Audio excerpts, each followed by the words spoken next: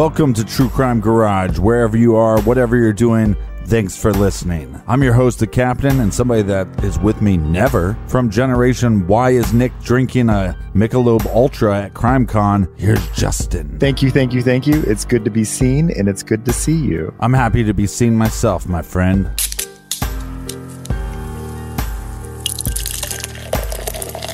On today's show, I'll be drinking Guinness, or what I like to call the adult protein shake.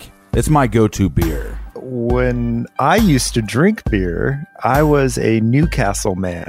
There you go. So Newcastle was always the in between between a a dark beer like Guinness, but it was always a you know, nice brown ale. And if you're wondering, where is the Colonel? Well, my friends, he's tied up in the basement. Along with Aaron from Generation Why, we decided to do a little bit of a wife swap, if you know what I mean. Don't worry, we won't hurt him. So let's gather around, grab a chair, grab a beer, and let's talk some true crime.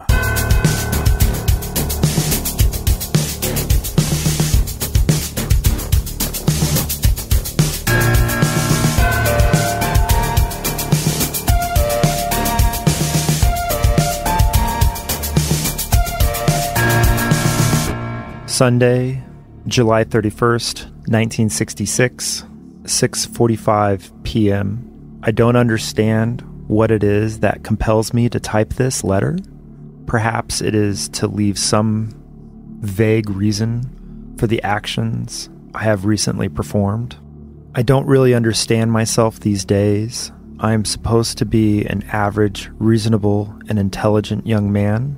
However, lately, I can't recall when it started. I have been a victim of many unusual and irrational thoughts. These thoughts constantly recur, and it requires a tremendous mental effort to concentrate on useful and progressive tasks. In March, when my parents made a physical break, I noticed a great deal of stress. I consulted a Dr. Cochrum at the University Health Center and asked him to recommend someone that I could consult with about some psychiatric disorders I felt I had. I talked with the doctor once for about two hours and tried to convey to him my fears that I felt come overwhelmingly violent impulses. After one season, I never saw the doctor again, and since then, I've been fighting my mental turmoil alone, and seemingly to no avail. After my death, I wish that an autopsy would be performed on me to see if there's any visible physical disorder. I've had some tremendous headaches in the past and have consumed two large bottles of Excedrin in the past three months. It was after much thought that I decided to kill my wife, Kathy, tonight after I pick her up from work at the telephone company. I love her dearly. She has been as fine as a wife to me as any man could ever hope to have. I cannot rationally pinpoint any specific reason for doing this. I don't know whether it is selfishness or if I don't want her to have to face the embarrassment my actions would surely cause her. At this time, though, the prominent reason in my mind is that I truly do not consider this world worth living in and am prepared to die. I do not want to leave her to suffer alone in it. I intend to kill her as painlessly as possible. Similar reasons provoked me to take my mother's life also. I don't think the poor woman has ever enjoyed life as she is entitled to. She was a simple young woman who married a very possessive and dominating man all of my life as a boy until I ran away from home to join the Marine Corps. The rest of the letter is handwritten and illegible.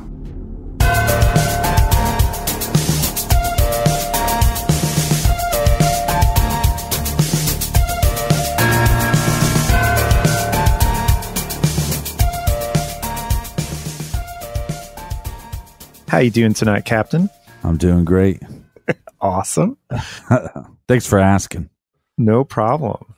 Tonight's case is something that I've been a little obsessed with for a while. Sadly, it's because of the rise of mass shootings here in America.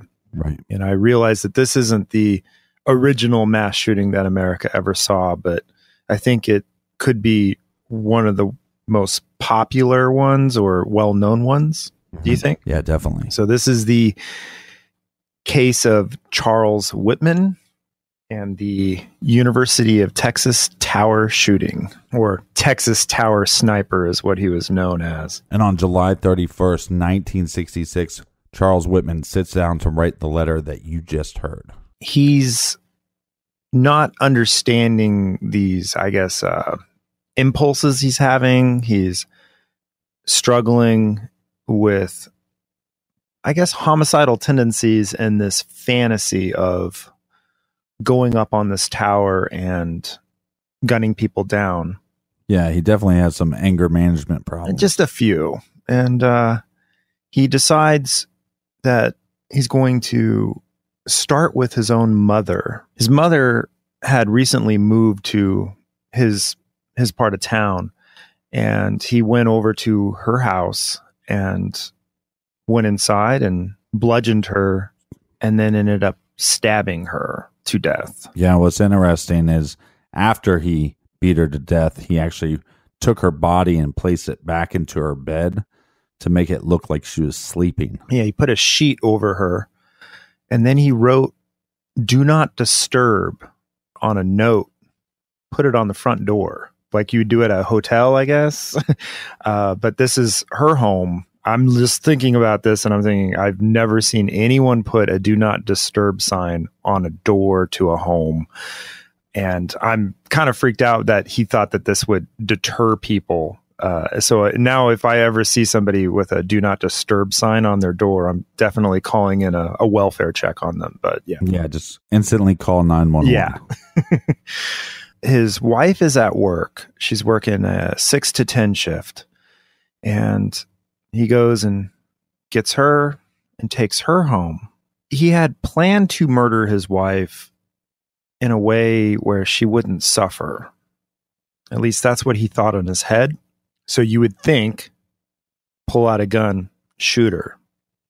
But instead, he will end up stabbing her to death, which to me is totally not a quick way to die. It's a brutal way to die, and it's a horrible way to die, right? According to him, happily married, but he doesn't want his next actions to fall back on his wife or his mother. And we'll go into more of that later. But yeah, because when he returns to his typewriter to continue this note, he claims that he killed his mom and his uh, wife just to spare them. Yeah. From what was going to take place. Now, what I wonder is he obviously wasn't trying to spare their life, but he was maybe trying to to uh, spare their I, what I guess embarrassment or the fact that these individuals would be connected to him after he did this tower shooting. Yeah, I mean, I know with his mother, he felt that she didn't have the best life, so it was almost a mercy killing.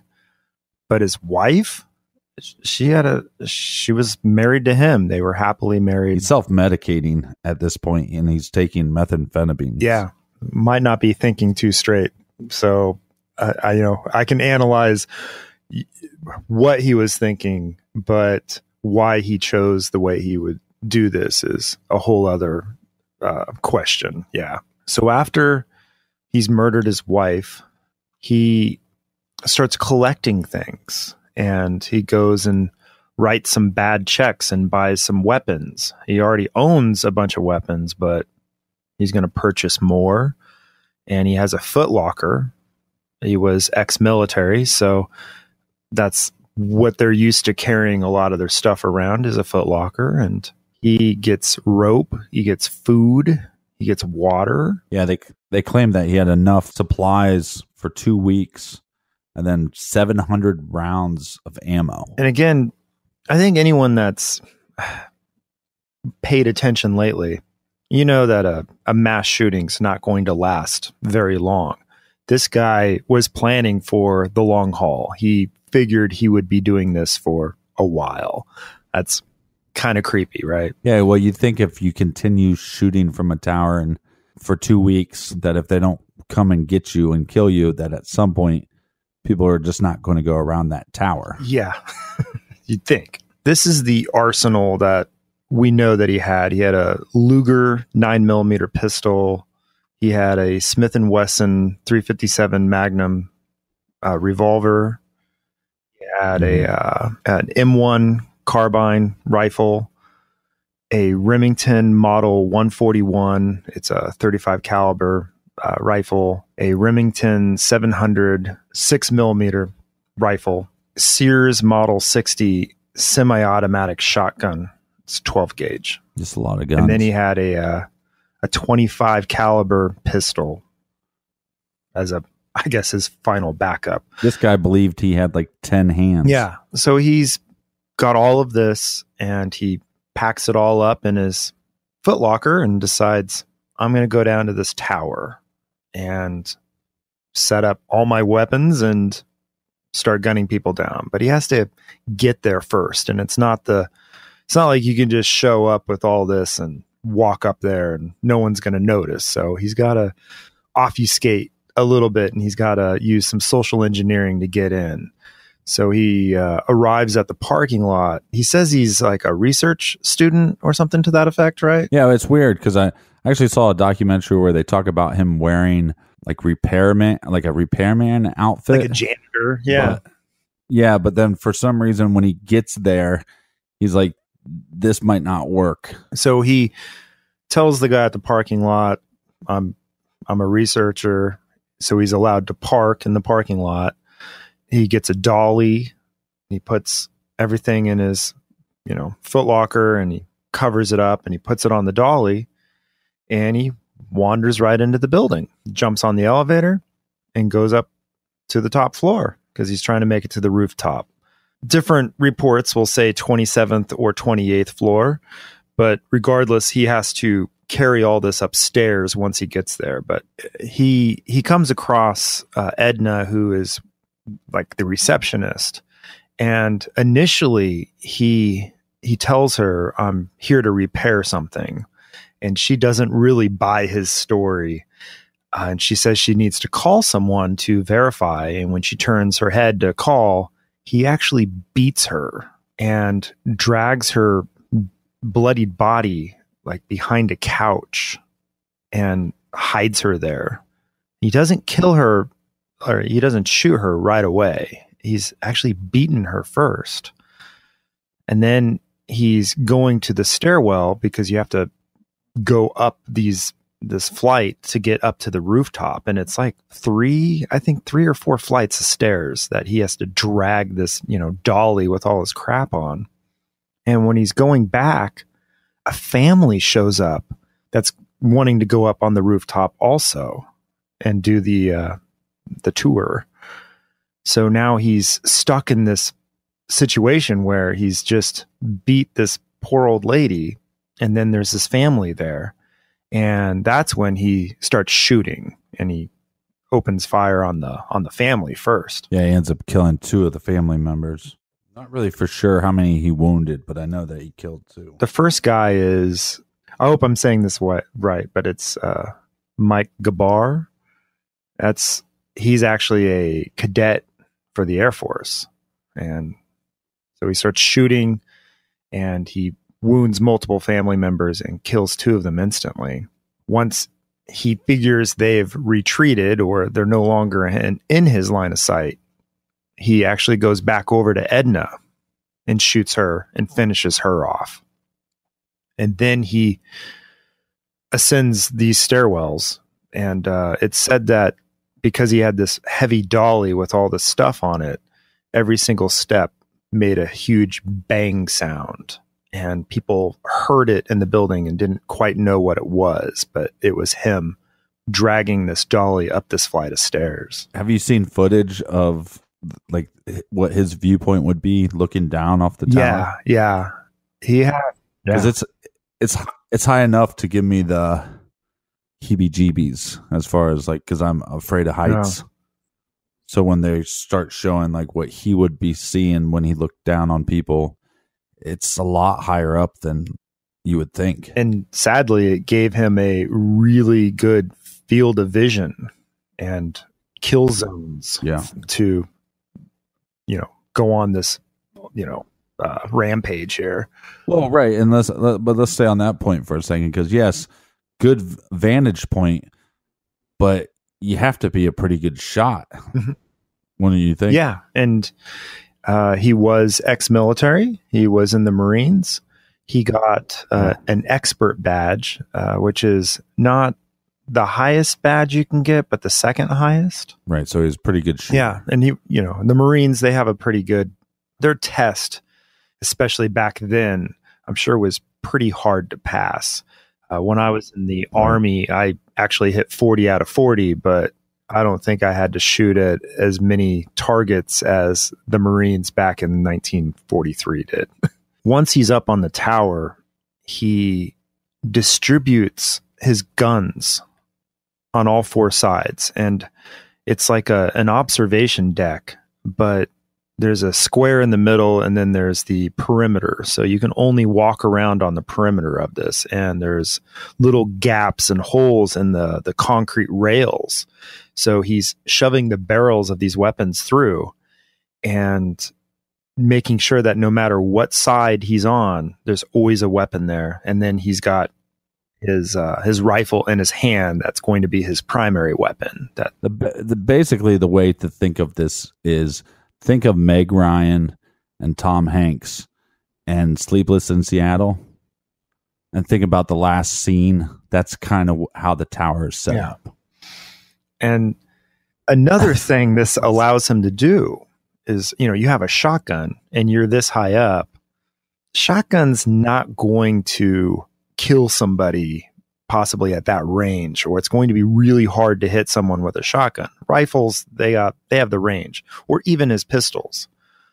But hmm one of the shotguns is just laying there sticking out as he walks past it he'll just pull the trigger and it goes off and then he's around the corner shooting at somebody else so it gives the illusion that there are multiple people up on this observation deck firing What's also interesting about the position he's in is I believe that these walls are concrete and they're over 30 centimeters thick. Mm-hmm. So basically, he has the ability to shoot, and the only thing that that law enforcement could shoot back at would be like the top of his head. Yeah. So even if they shot the wall that he was right behind, it was not going to penetrate through the wall. No. And when he starts firing, uh, the few police officers that are around, you know, they were issued revolvers and shotguns at the time. And, you know, 38 caliber pistol. It's, I mean, the bullet's gonna make it up there, but then once it hits that that cement block, that you know, concrete wall, it's it's not doing anything. And they have tiny Right. target to to pinpoint and it's just not going to work out for them at all because they're outgunned and they he has the higher ground so they can't they can't do anything Mhm. one of his first victims that he shoots when he gets on this tower is a pregnant woman Well, and this shows you how big of a piece of shit this Charles guy is because he, he it, it's not like he shoots her in the head or the arm or the chest or anything. He goes right down and shoots her in her pregnant Yeah. belly. and it's it's almost i I mean no i won't even say it's almost it is his intent to shoot her in the belly because he's a good shot he'll make some other shots up here that are far further distance through tiny holes so he knows where he's shooting her Yeah. and of course people are running out to save her and her boyfriend and they are now targets. And this is what snipers do. That first shot isn't always the shot to kill somebody. Sometimes that first shot is to wound somebody and then all your buddies come out to save you and that gives the sniper more targets to pick off.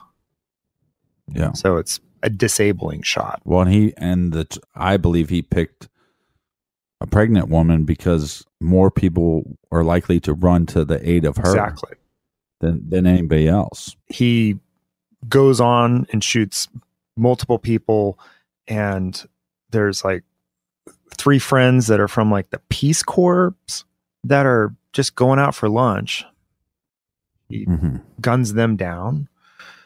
It it's just peop random people throughout their day, and I think it's I don't know what twenty minutes into the shooting that now everyone down below understands what's happening and are starting to are starting to take cover, starting to to duck out, hide. Well, and that's what's strange is, uh, you know, if you've been ever, if you've ever been outside playing at night and you hear possibly a gunfire or maybe a firework or Mhm. something, sometimes it's hard to figure out where it's coming from. Yeah. So it sounds crazy, but it's like you said, it takes people over 20 minutes to kind of figure out one that there's somebody shooting from the tower.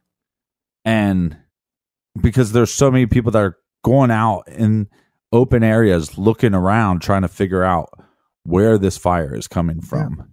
There's a uh, a journalist named Richard Hill who hears that somebody's been shot at the tower.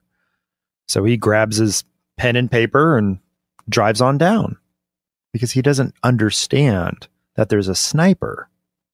And so he gets there, jumps out of his car, and he sees a bunch of students like huddled underneath like an awning or something. Right. And they're telling him, you know, like, take cover. And they're like, you better not walk out there and they're actually laughing when they say it. They're saying, "Man, you better take cover. You better get out of here." And Richard doesn't. It doesn't click. You know, it's he doesn't take them seriously because he's not understanding the situation. And I hate to say it, but I'm kind of like these kids. I might laugh at the wrong time at when something's just so atrocious or just ridiculous. Like what we're now Mhm. huddled underneath this awning.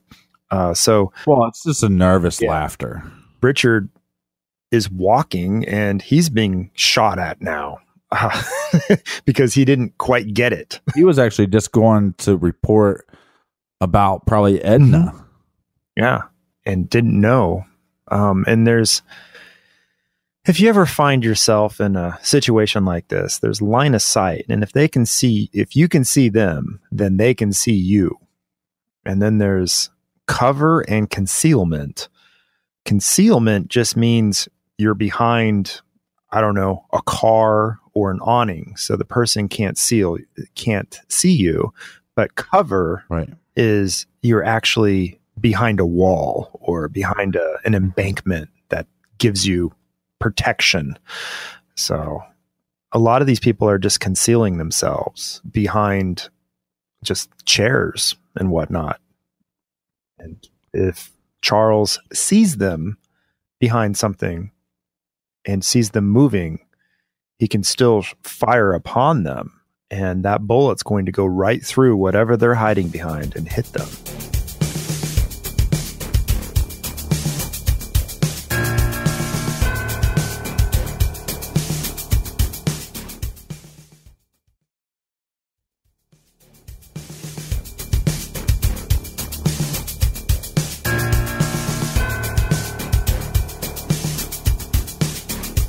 All right, we're back. Cheers, mates.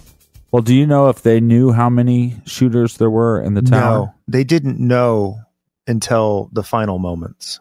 And they assumed, Okay. yeah, they definitely assumed there was more than one.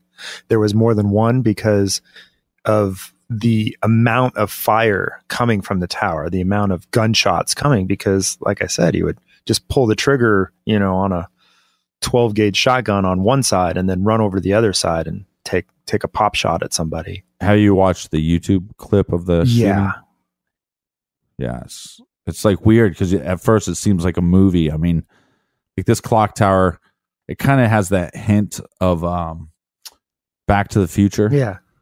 the, cl- the clock tower. And and so when you see it in black and white, and all you see is the gun smoke coming, and it's so unclear who's shooting or if there is a shooter. Almost looks like it's coming out of nowhere.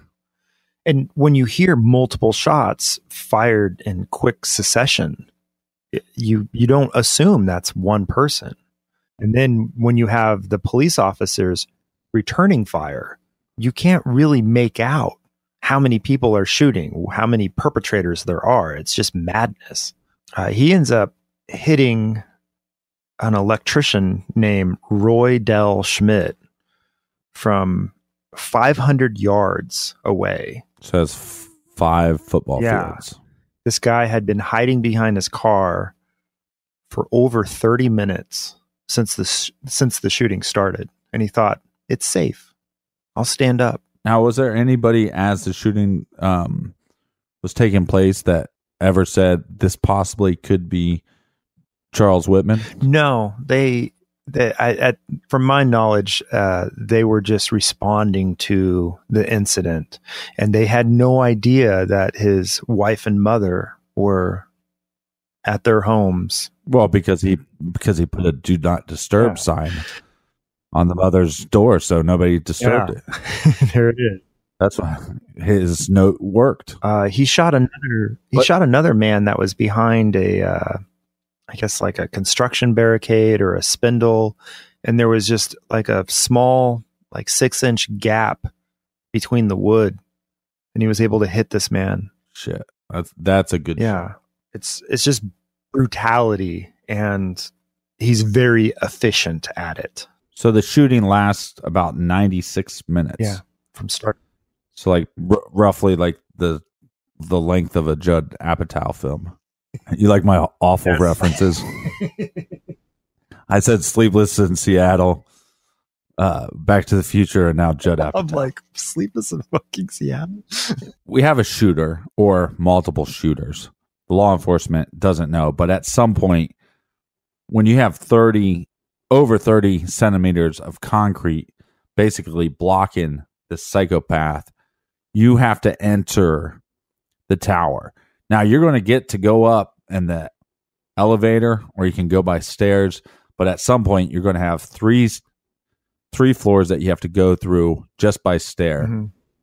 to get to the observation deck where the the the shots are being fired. But now you're gonna you're gonna have to send officers in there, and you don't know how many shooters there And are. the when you get up to that observation deck, there's a lot of windows. So you're exposed to the shooter still. If the shooter looks inside, he can see you, and there's very little uh, cover or concealment for you when you first step out onto that observation deck. How many officers do they send up to the observation deck? Well, this one police officer named Ramiro Martinez, he was off duty that day and he heard about the shooting, so he came up and he doesn't he he's just showing up. Uh and it sucks because these officers when they're going there, they're having to walk through the dead bodies to get to the tower. There's no real concealment for them. They're having to zigzag and run to the tower to get there. Well, Martinez, he's going up the elevator and he gets off and he runs into three other police officers, three other guys. Uh, a guy named Allen Crum, Houston McCoy, and there's special, he's a public safety agent and his name's Dub Cowan. Public safety agent. What what is I, that? I'm assuming he's a uh, a security guard. Yeah, Security for the guard? campus. yeah, But can you imagine? You you have to have the biggest cojones to decide. Hey, I'm going to go up there. I have no clue how many shooters there are, but I'm going to go up there. Who's coming Yeah. with me? and And you got four guys. and being that this is Texas, people you know don't mess with Texas. They all have guns. So Cowan had actually gone home and got his rifle, brought it back, and gave it to one of the officers. I'm still waiting to read a story where the law enforcement officer had an elephant gun. Yeah. It seems like a great time for one in this scenario. Well, the, the interesting thing about this is we don't have the militarization of police until much later. Yet, here's a perfect example Right. of why they might need rifles or they might need armored vehicles or stuff like that. Or pretty much a SWAT team is what I'm looking for to respond to this, not the beat cop with a pistol. we'll break down how they decide to enter the tower's observation deck. all three of them came out onto the observation deck and one of them stood at the door and faced Mhm. you know whatever direction while the other two started going around each corner looking for the shooter so the one guy staying there he's he's there just to see if if this shooter comes around the corner he's there to to ambush him so the other yeah Right. these other two guys they're going around each corner and they have to expose themselves They have to whip No. out their. No they have to lean over That seems like a very weird law enforcement practice. they have to lean We're going to be careful with your words here. They have to lean. lean to the left Yeah, well, how you said it. I didn't. You know, you can't make that I shit know. up. And they check the first corner, coast is clear. They go to the next corner and they they're hearing the shots and they're getting louder and louder. So they know they're th- you know, they know they're getting close. But again, they think there might be two guys up here, so they're they're kind of freaked out. And they see Charles is sort of gunning somebody down. So they come up and one of them shoots him and the other one jumps down to his knees and they both fire upon him and hitting Charles and Charles had actually sort of turned towards them at this point to engage them right And and they claim that Houston. They give credit to Houston McCoy, I think, for the the kill. But like we know the full story. I think they're. I think not only both of them should be, you know, responsible for the kill, but also the third guy that got onto the uh, observation deck Yeah. as well.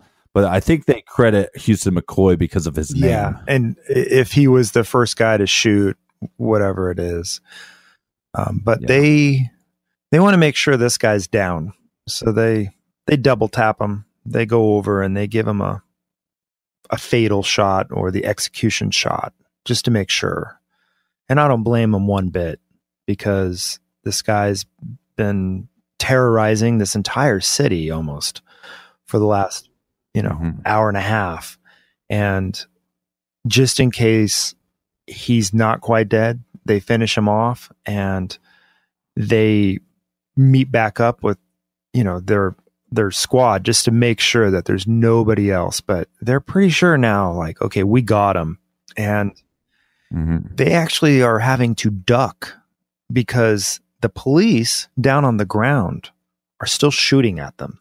So a few bullets actually ricochet by their heads while after.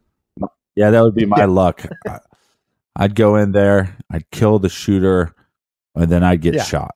They have to inform people fairly quickly to cease fire. the the shooter's down, and and sadly, as soon as they get the word out, everybody comes pouring out of the buildings, and they just knew that they'd killed this one guy up on the observation deck.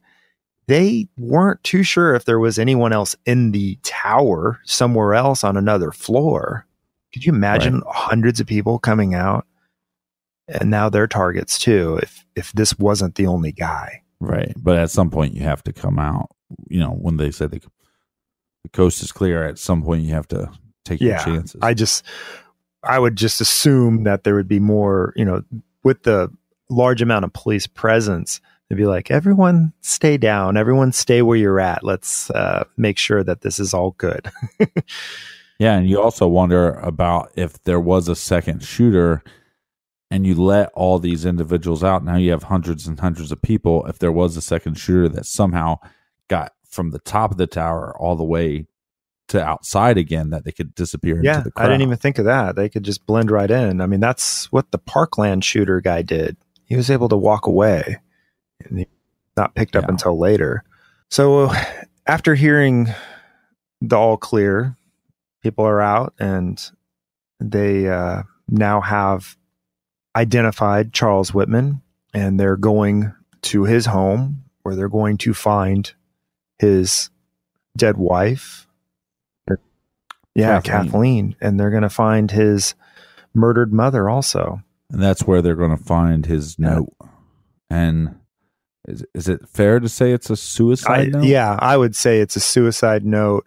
Uh, Or is it a homicide? well, there you note? go. You know, uh, It's, it's almost I- both. I call American mass shooters our version of a suicide bomber, but they are able to kill a lot more people because they can shoot at them as opposed to just trying to set themselves off in the middle of a crowd. But in this note, he mentions uh, that he loved his wife. He mentions that she was a wonderful person and that he had these horrible thoughts and that he hopes that they can do an autopsy on him and look at his brain and see if there was anything that caused him to do this. And they do do that. And they end up finding a small tumor.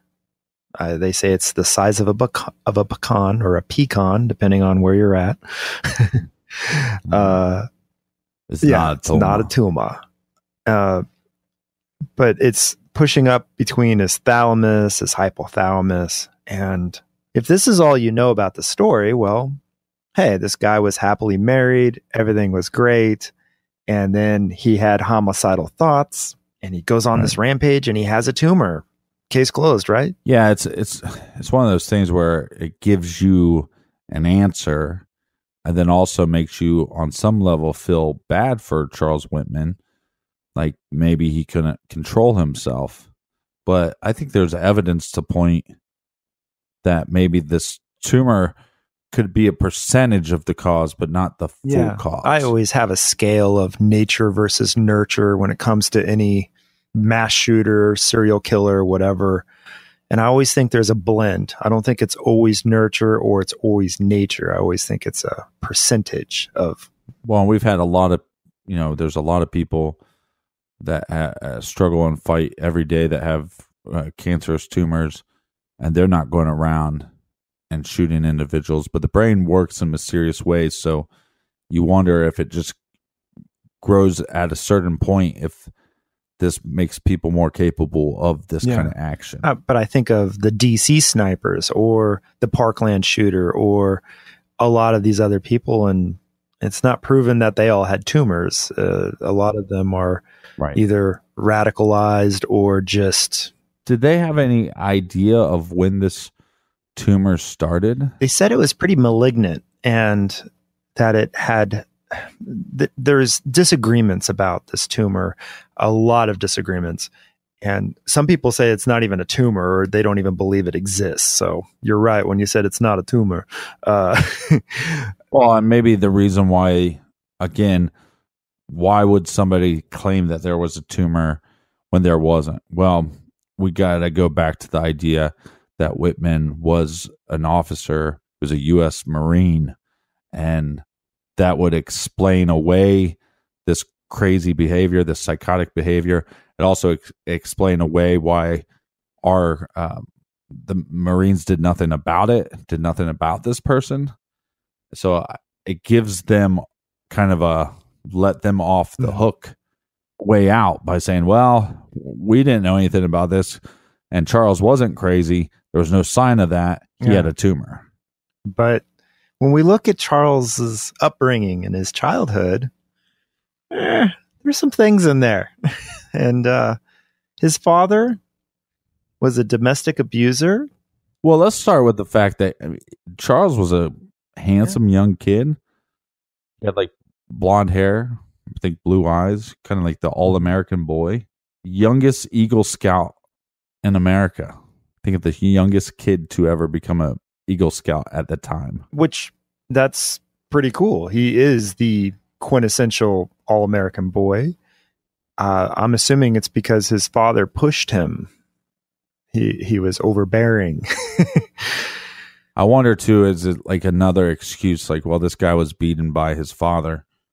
Um, but back in the fifties, there was a lot more physical punishment that happened. So he was beaten by his father. He hated his father.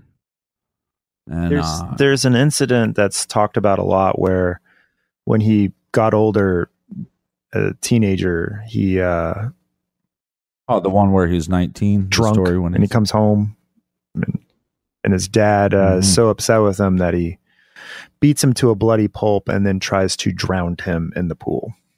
Yeah, and well, here's the thing though: is like, I mean, he he did have a father, he had a mother, they had a pool. Things could have been worse. This is true, but he is uh, living in a very hostile environment, and his he's watching his mother get beaten and verbally abused, emotionally abused.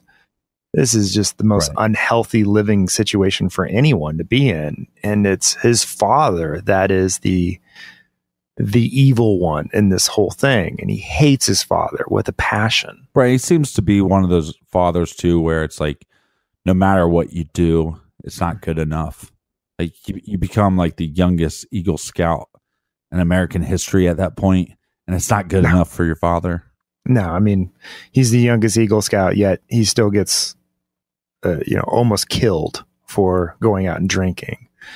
And, and this is Yeah. the amount of pressure that's put on Charles, so he he joins the Marines.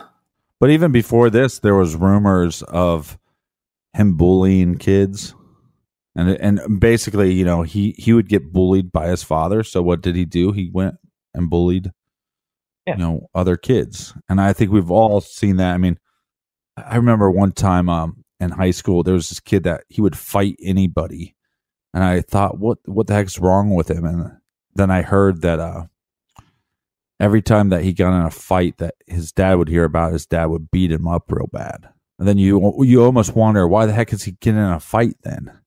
Every time he gets in trouble for it, he gets beat up. It's almost like maybe some kind of like self punishment Yeah, at that and it's it's a cycle of violence.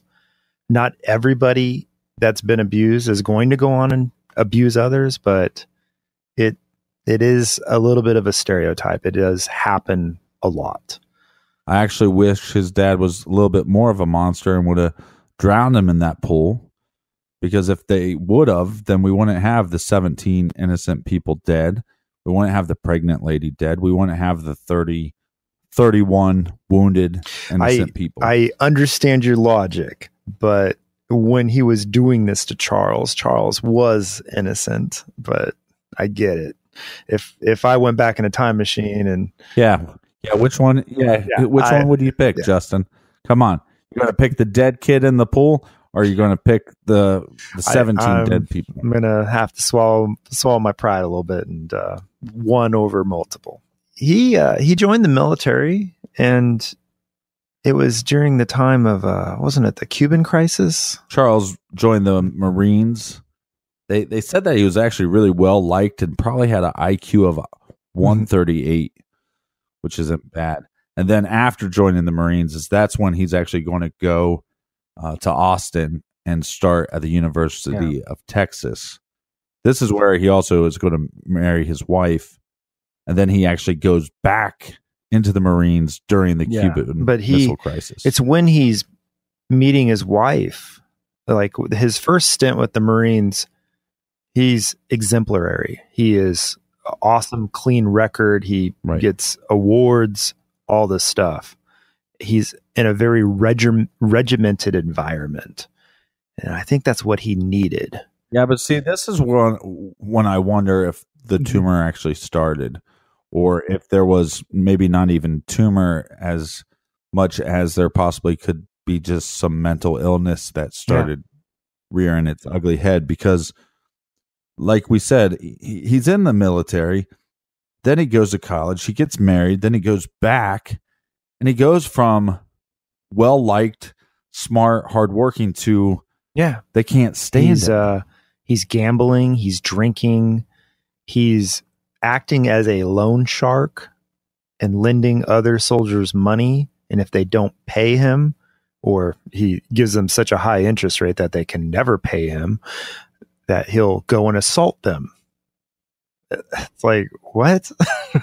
and and it, it gets so bad that they Yeah. end up discharging him and then that's when he goes he decides well i'm going to go back to austin and i'm going to show them i'm going to enroll into school and Yeah. i'm going to get my life together but he's not.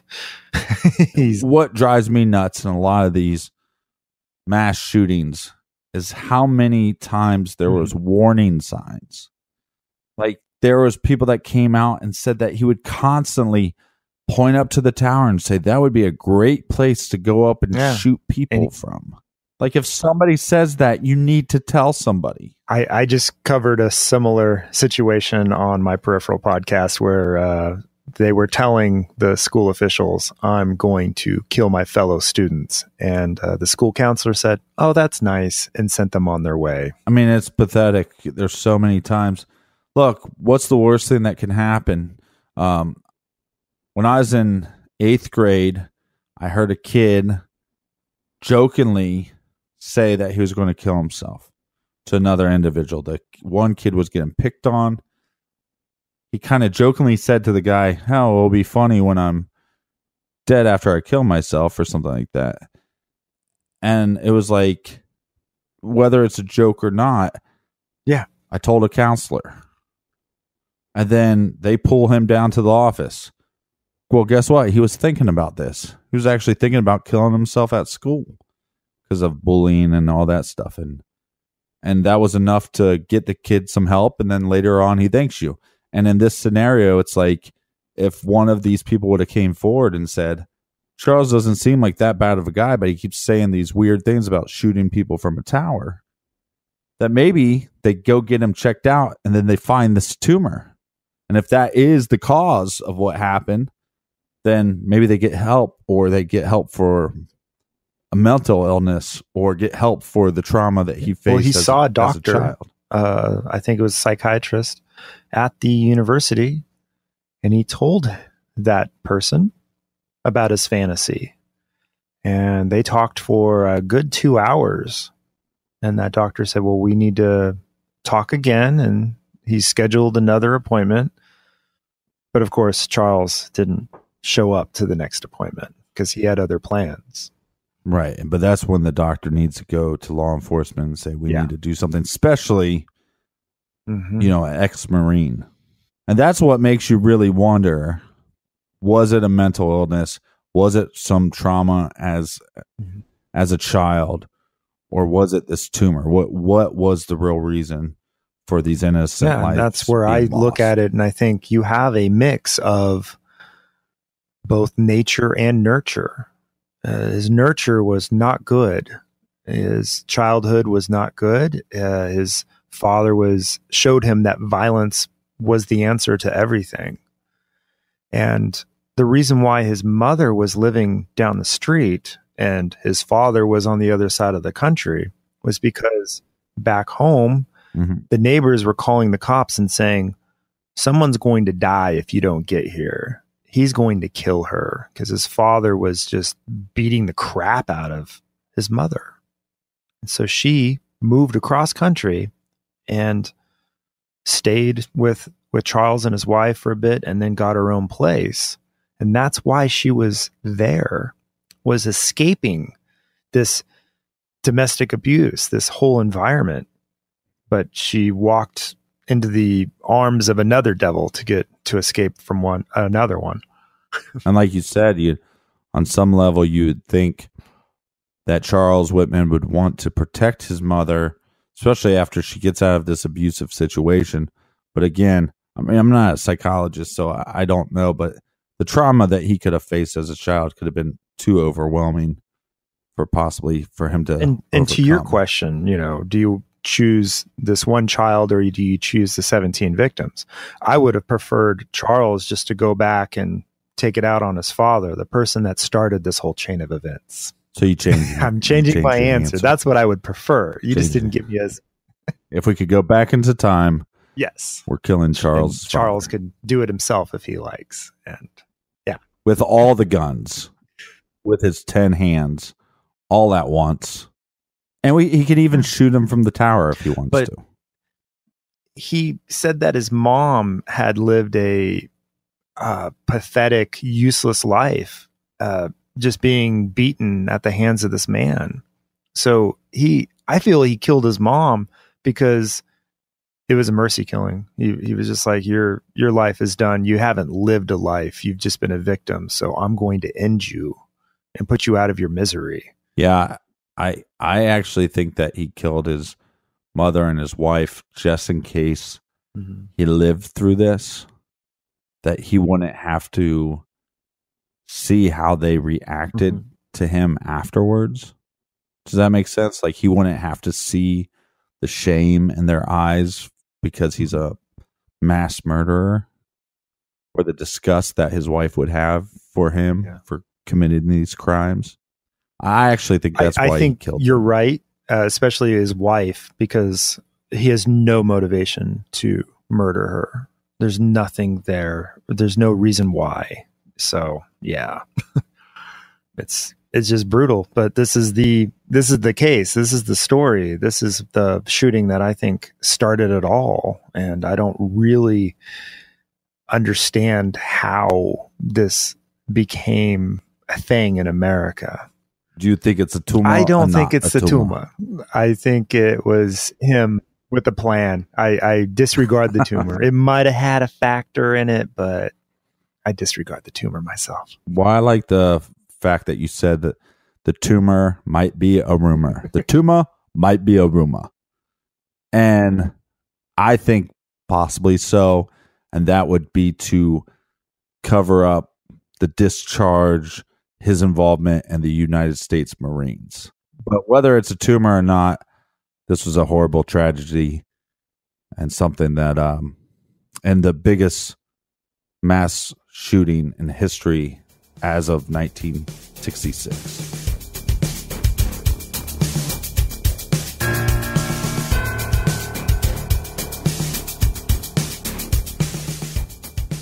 Justin, I want to thank you for joining us in the garage.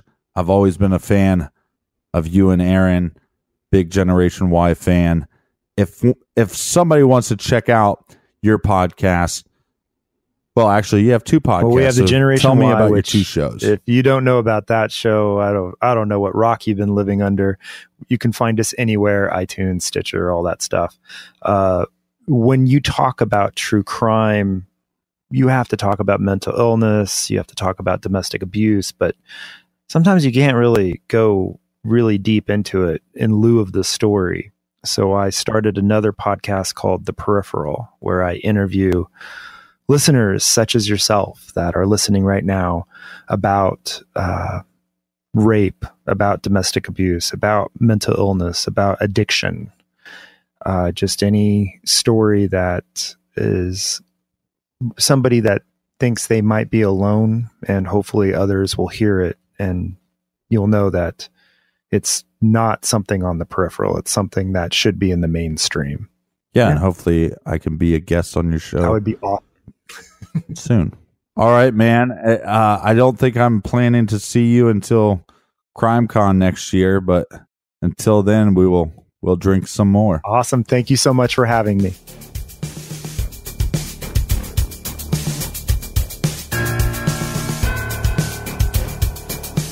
Hopefully, you guys enjoyed a little bit of the mashup this week. Check out our good buddies Justin and Aaron and their podcast Generation Why. It can be found anywhere iTunes, any podcast app, or you can check them out on the web, thegenerationwhypodcast.com. If you'd like to hear Nic and Aaron's mashup, that's going to be episode 291 on the Generation Why podcast feed. So check that out. Until next week, be good, be kind, and don't shoot litter.